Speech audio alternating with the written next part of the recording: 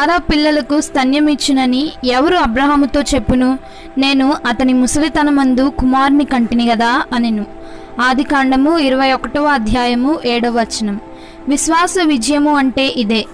ఇది ఒక్కరి విజయం కాదు అబ్రహాము మరియు షారాల యొక్క విశ్వాసముల సంయుక్త విజయము. విశ్వాస విషయంలో భార్యాభర్తలు సామర్య సామరస్యమును కలిగి ఉండడం సులభం కాదు.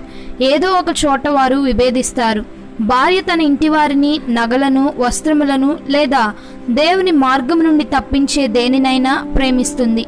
ఆరంభంలో అబ్రహాము శారాల మధ్య మంచి సమన్వయము లేనప్పటికీ క్రమేపీ వారు విశ్వాస విషయంలో సంపూర్ణ ఏకీభావము సాధించారు. మీలో ఇద్దరు తాము వేడుకొను దేనిని గూర్చి అయినను భూమి మీద ఏకీభవించిన ఎడల అది పరలోకమందున నా తండ్రి వలన వారికి దొరుకునని మీతో చెప్పుచున్నాను. మత్తయి పద్దెనిమిదవ అధ్యాయము పంతొమ్మిదవ వచనం. అని ప్రభు సెలవిచ్చాడు. మనము పాత నిబంధనను చదివినప్పుడు నూతన నిబంధనలోని సత్యములను దేవుడు బిడ్డలు నాడే అభ్యసించి తమ అనుభవంలోనికి తెచ్చుకున్నట్లు చూస్తాము. అబ్రహాం యొక్క విశ్వాస స్థాయికి షారా ఎదిగినట్లుగా కనిపిస్తుంది. అబ్రహాము తన భార్యను గౌరవించాడు. సహనముతో ఆమెను ఈ సామరస్యపూర్వక విశ్వాస జీవితంలోనికి నడిపించాడు. హాగరు ఒక కుమారుని కన్నయడల షారా కూడా తల్లిగా ఉండవచ్చునని వారు ఆశించారు.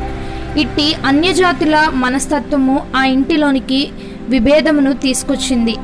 అది ఒక తప్పు. ఒక ఐగుప్తురాలు అబ్రహాము ఇంటిలో ఇమడగలిగే కుమారుని ఎలా ముందుకు తీసుకురాగలదు? ఆ కుమారుడు తన ఐగుప్తు తల్లి యొక్క స్వభావమును కలిగి ఉండినాడు.